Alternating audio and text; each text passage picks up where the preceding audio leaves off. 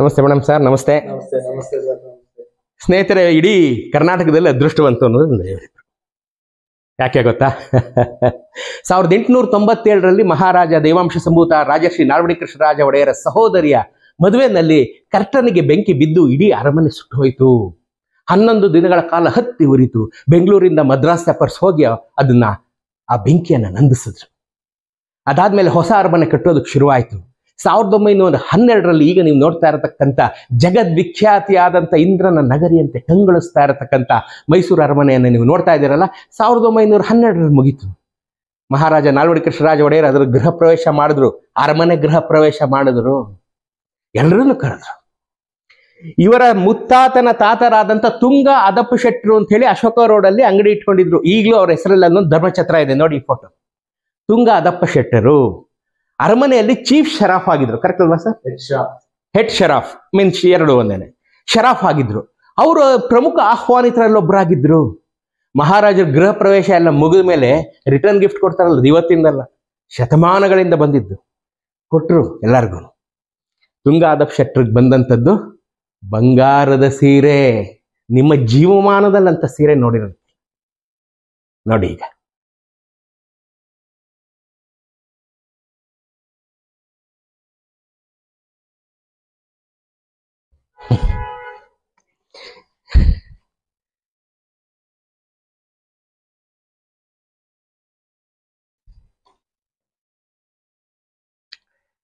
ಸ್ನೇಹಿತರೆ, ನೋಡಿ ಕಣ್ತುಂಬಿಕೊಳ್ಳಿ ಬಂಗಾರದ ಸೀರೆಯನ್ನು ನೀವು ನೋಡಿ.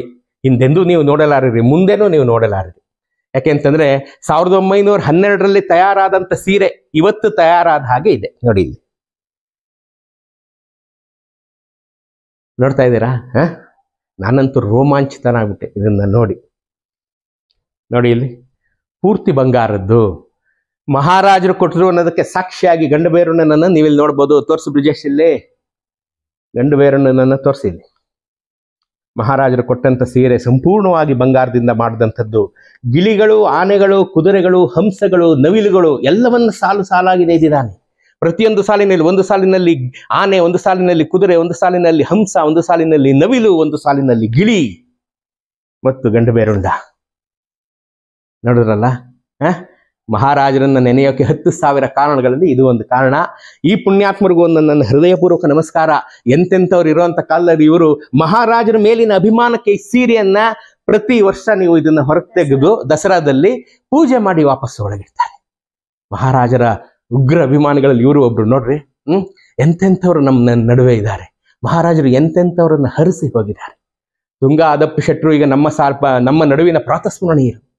ಆದಪ್ಪ ಶೆಟ್ರು ಕೊಟ್ಟಂತ ಸೀರೆ ಇವತ್ತು ನಮ್ಮಂತ ಪಾಮರರ ಕಣ್ಣಿಗೆ ಬಿದ್ದಿದೆ. ನಡೆದ್ರ?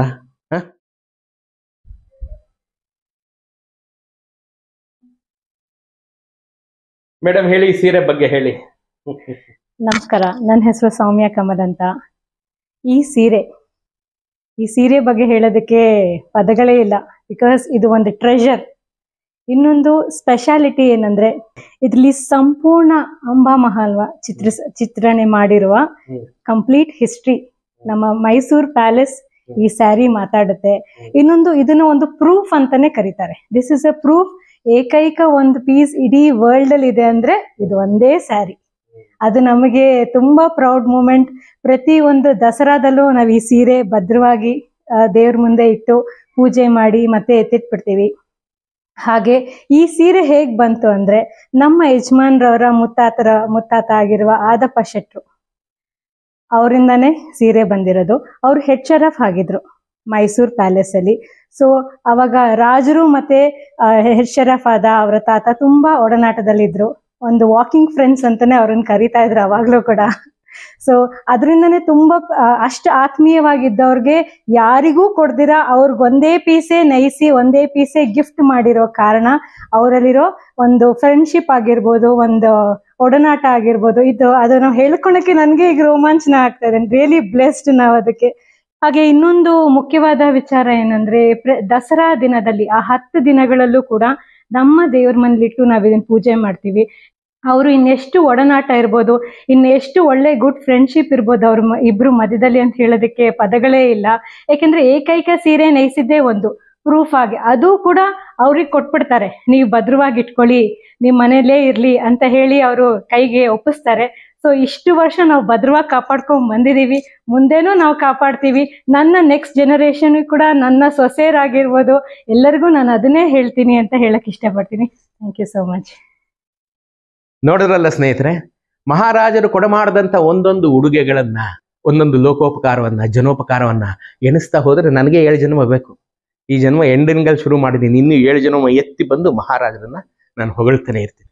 ಹತ್ತು ಸಾವಿರ ಕಾರಣ ಅಲ್ಲ, ಒಂದು ಲಕ್ಷ ಕಾರಣ. ಈ ಪುಣ್ಯಾತ್ಮ ದಂಪತಿಗಳೇ ನಿಮ್ಮ ಕಡೆಯಿಂದ ಒಂದು ಹಾರೈಕೆ ಇರಲಿ. ಇಂಥವರು ನಮ್ಮ ನಡುವೆ ಇದ್ದಾರೆ. ಅನ್ನೋದೇ ನಮಗೊಂದು ಆಶ್ಚರ್ಯಕರ ವಿಚಾರ.